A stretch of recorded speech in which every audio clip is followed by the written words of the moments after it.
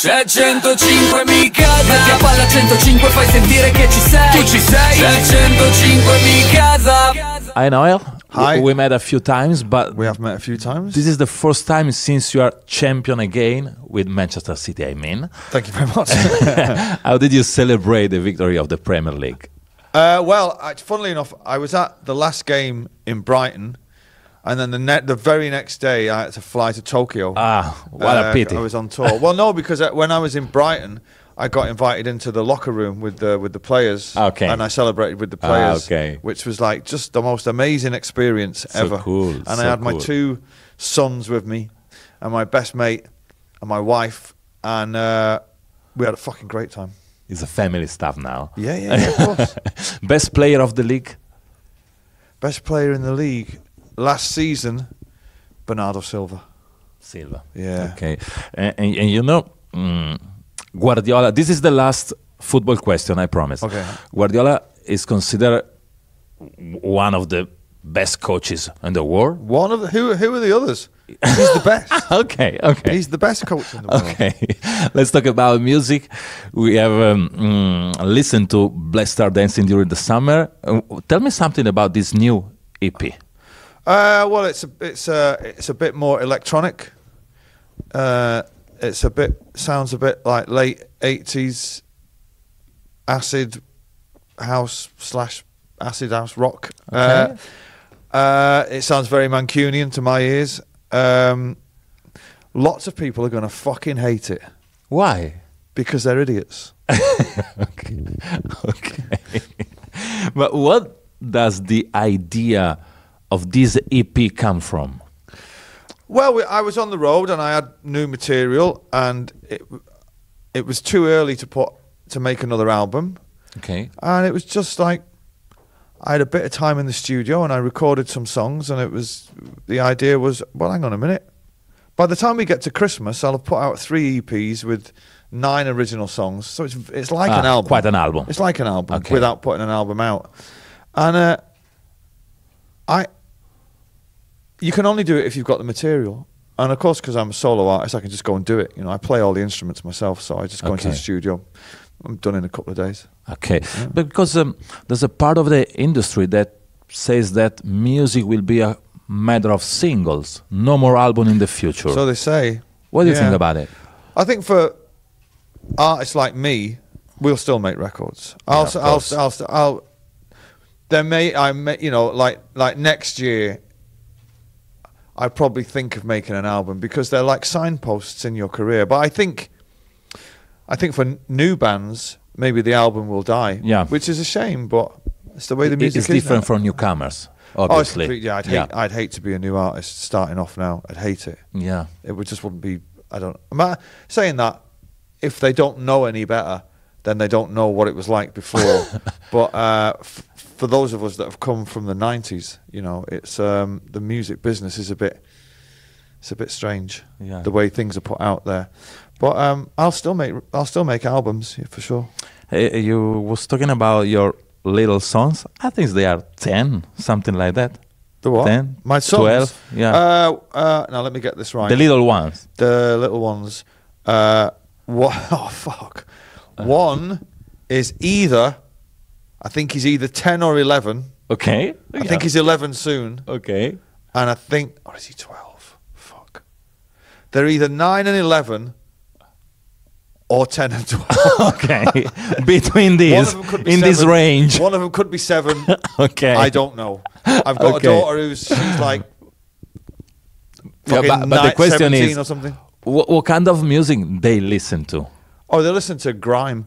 Grime. Yeah, the boys listen to uh, whatever's on the national radio. So whatever's on like the the big radio station, Radio One, they listen to Stormzy and Yeah. all that kind. Of, yeah, they love Stormzy and Skepta and all that kind of stuff. Uh, my daughter listens to. She used to be into Justin Bieber and all that kind of thing, and One Direction, and now she's into me. Yeah, but how, how do, no, this is a serious question. How do they relate to the greatness of the father?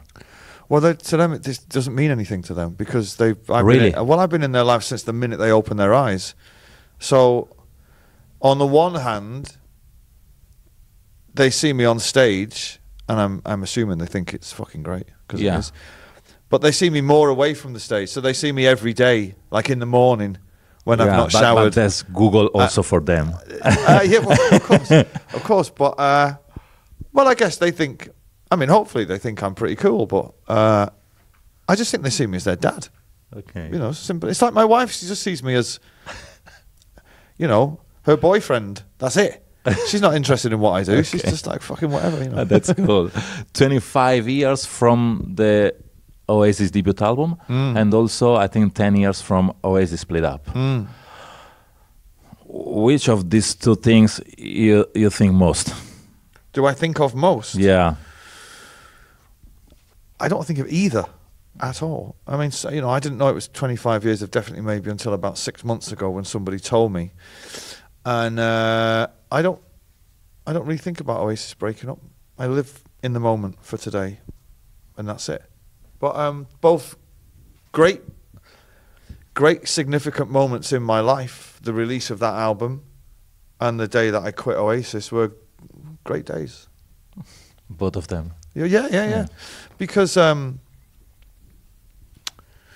yeah, in the case of, you know, definitely maybe you, it was released and you had your whole life in front of you, and then when I left Oasis, I was lucky enough to have a new life in front of me, which you don't really Quite get. the same.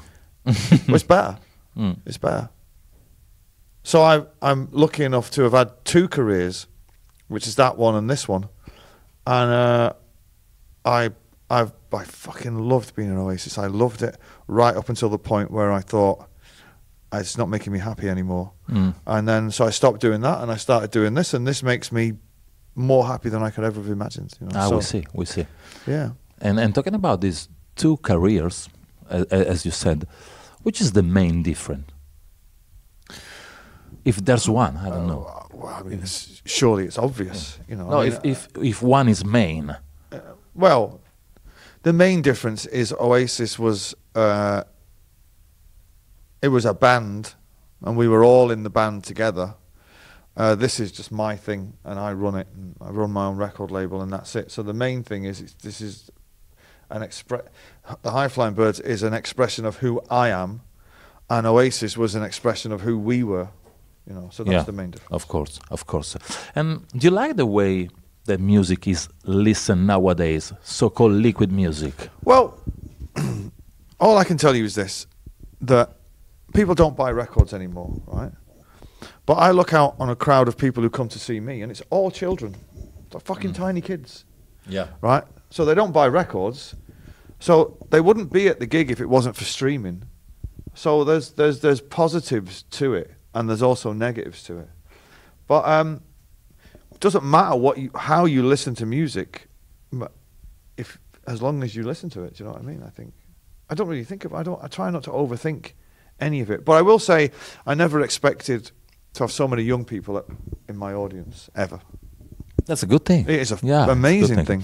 Um, I I think, for me, for example, you are rock and roll. When I think about rock and roll, you are one of them in my mind Okay. a- as icon. Okay. wh- What's what's rock and roll for you?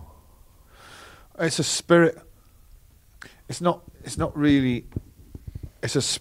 To me, anyway, rock and roll is freedom. It's freedom of thought, and freedom of expression.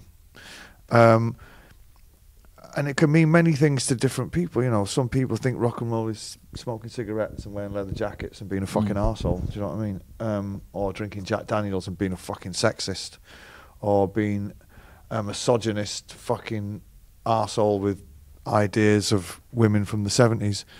But um, for me, it's just about freedom to, as an artist, to be and do whatever the fuck you want to do. You know, and to me, what I'm doing now is totally fucking rock and roll.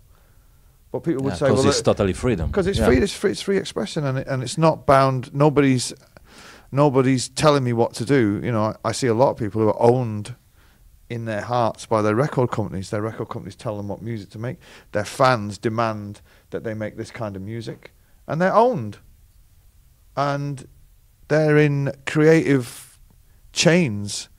Um, I broke away from that ten years ago, and was like, you know what? Fuck those guys. Yeah. And there are people who remain with us even uh, if they are gone. I'm talking about David Bowie. Mm. What the most important thing he talked to you? David Bowie. Yeah. to be interested in other things. I think there was a time 20 years ago when somebody would have asked me to check something out and it was fucking jazz or whatever and I'd have just dismissed it completely. But now I'm more interested in it because not because of David Bowie, but he was interested in everything. And you might not like it, but you should be interested in it. And I think um, I think I'm I think I'm not afraid of pushing the musical boundaries a little bit. Because when people when when people hear this is the place, a lot of people, a lot of Oasis fans are not going to like it. But I see that as a challenge, you know what I mean? So when I'm in the studio and I'm making this music but no one else has heard it, you know, you kind of got to be brave and say, yeah, fuck them. You know what I mean? Mm. I love it. This is a part of me. And if they don't like it, fuck them too. Yeah. you know? Maybe it's also a question of age. I don't know. Well, a- age, Maybe now it's- age. it's age, simple. age is a funny thing because people, the older that you get, people do tend to pick on you more. do you know what I mean? Yeah. Like Madonna, for instance. Yeah. People pick on Madonna Yeah. because she doesn't give a fuck. Whether you like her music or not is irrelevant. You know what I mean? She's fucking Madonna at the end of Yeah. the day. And uh, she was one of the great artists of our lifetime. You know what I mean? And um, and because she's she's sixty or however old she is, people are like want her to go away now. You know, and uh, fair play to her. She's fucking defiant in the face of it, and I think age is a is a funny thing. You know, it's a funny thing. But I I I I'm- enjoying growing older. I'm enjoying it. I kind of feel better. I think I look better. I am better. yeah. yeah. My I am. I'm genuinely better than I was 20 years ago. I'm better than I was 10 years ago. Really. Yeah, for fucking sure. 100%. Yeah. 100%. My last question is uh, about this is the place. Yes. Uh, and what I, I would like to know is talking about places, countries, uh, cities, I don't know, is environments are, are, are important for writing song Of course. Yeah. in your experience also? Absolutely. If you if you're in a if you're in a I mean I've been in thousands of recording studios all over the world. And I can tell the minute I walk into a studio I've not been in whether I'm going to do anything that's great. Ah, really? You can tell. You can just tell. And I'm in the process now of building a recording studio in London. And uh, I've committed to building it, and I'm going to be there for the rest of my life. And I'm just fucking praying that when it's finished, it's going to be good. You know what I mean? Okay. Um, but yeah, I can, I, I can, I can sense when I walk into a dressing room whether we're going to have a great night or not. Sometimes you just walk into a room and go, yeah. So it's so important environment. Absolutely. Yeah. It, I mean, for other people are different. You know what I mean? And um, you know, sometimes you would you would go into an arena when we were playing gigs, and you just go, nah. No, I'm not feeling it. And then that you go into a, a theatre and you just go, it's going to be great. You can just feel it. You Yeah, feel cool. the energy. Um, so your environment actually dictates what you sound like. Because, for instance, when I was in a stadium rock band, we made stadium rock music Yeah, because that's yeah, the of course. environment we played in. Yeah. Now I'm not in a stadium rock band. I play all kinds of different venues, and my music is quite different. So there you go. Interesting. So Yeah. interesting. Thank you, Noel. It's Pleasure, also man. a pleasure talking to you. See you next time. See you next time.